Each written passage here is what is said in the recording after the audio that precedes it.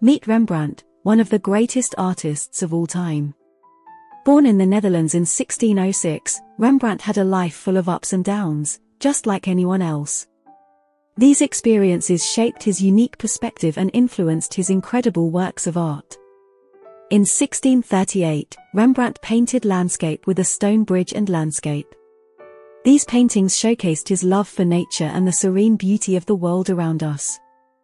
Inspired by his surroundings, Rembrandt captured the essence of landscapes in a way that made you feel like you were standing right there, soaking in the view. But Rembrandt didn't just focus on landscapes. In Still Life with Two Dead Peacocks and a Girl from 1639, he brought together nature and humanity, showcasing the fragility of life and the passing of time. It was a reminder that everything in this world is temporary, and we should cherish the moments we have. Portraits were also a big part of Rembrandt's repertoire.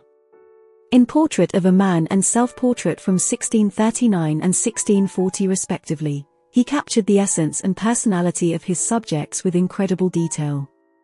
His deep understanding of human features and emotions allowed him to create portraits that seemed to come to life on the canvas.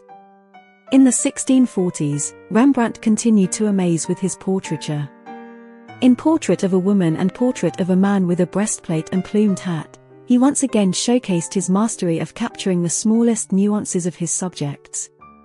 These portraits revealed the inner thoughts and emotions of the people he painted, making them feel relatable and real. But Rembrandt's talent didn't stop there. He was also a master of telling stories through his art. In The Beheading of St. John the Baptist and A Woman Weeping from 1640, he depicted powerful moments in history and life, evoking powerful emotions within the viewer.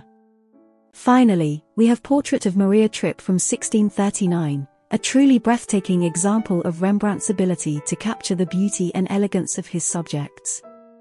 The stunning colors and textures in this portrait make it a standout piece in his collection.